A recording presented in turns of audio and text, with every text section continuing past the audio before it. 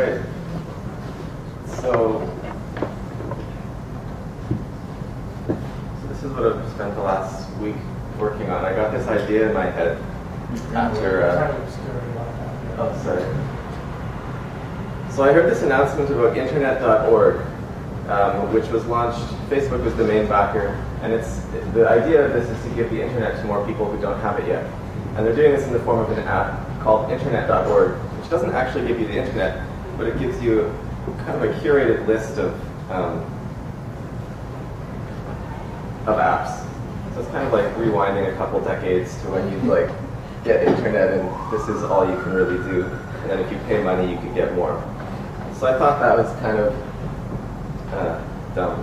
And then I saw like the same week there's this announcement that Sprint is offering wireless plans that will like only connect to the social network of your choice, like Facebook or Twitter, which also seemed kind of lame. So we're like entering this strange world where you could have Facebook and not have the internet. So then I thought, okay, well let's like put the internet into Facebook somehow. And uh, how are we going to do this? So I, I have a Facebook page called JPG Internet, and I built a little app. So what you do is post a link on the wall, and you're going to post a link to itself. It's probably like there's a good chance it won't work because still unreliable, but we'll come back to it and see. Mm-hmm. Um, so what it should do is it should download that page and upload it to Facebook and then re reply to your post with a comment to the photo so that you can see it.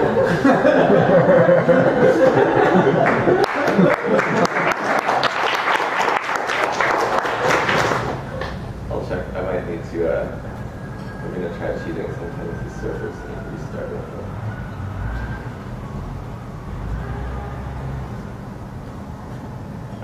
So, moving on.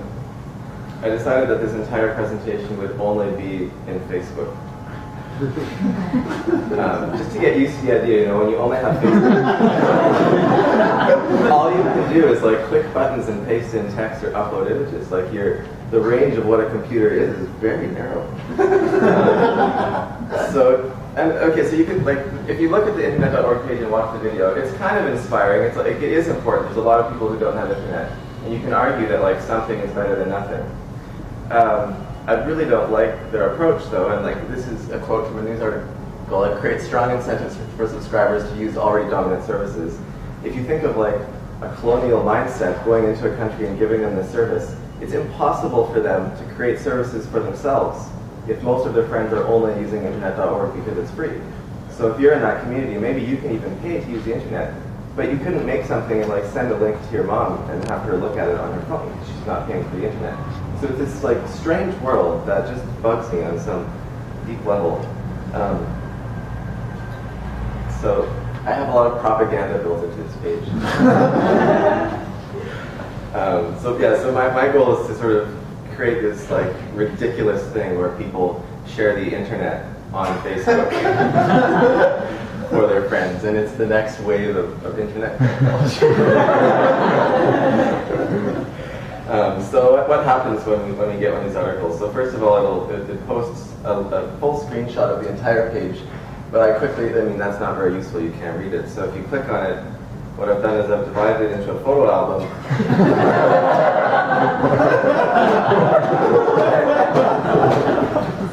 and you get to scroll down to see the whole the current, I have a maximum of 40 pages, which I think is, uh, it's not quite enough for a long article. But Facebook has a, Facebook's Graph API lets you post a maximum of 50 requests at once. And I need to, some space in there for the comments and stuff. So if people need more pages, we could look at how to do that. Um, this is a long page. So this is a uh, battle for the net. So there's a lot of people who are working on this issue of net neutrality um, I think giving you a sense of what the internet would be like with only Facebook is not a bad way to show how ridiculous it is.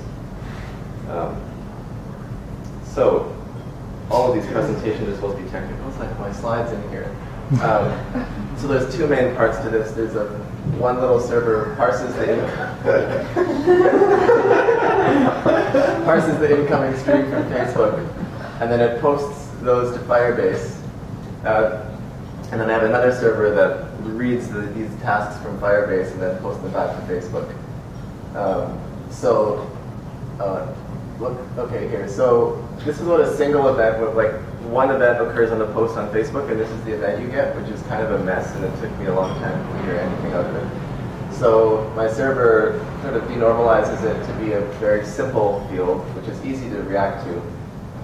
And this is what it looks in Firebase. So Firebase, if you're not familiar, it's like a real-time database. It makes it extremely easy to subscribe to changes at a location in your database. So um, this is what my stream looks like.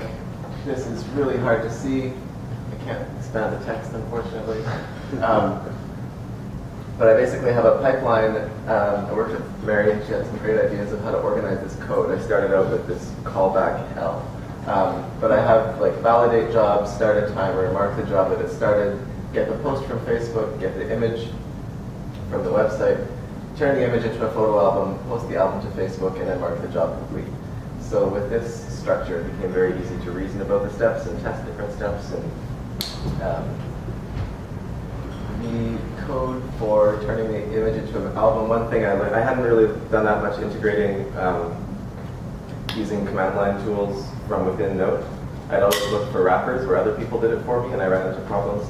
And it turns out it's like super easy because I'm using a library called ImageMagick to do the image processing. So it was really easy um, to execute that script from Node. That's not readable.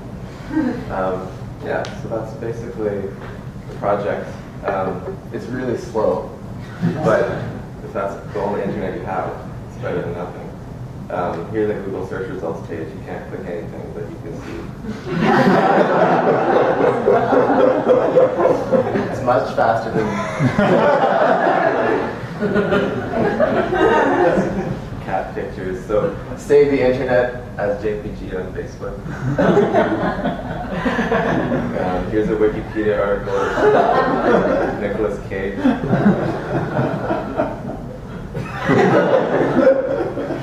Much slower than loading text, but yeah.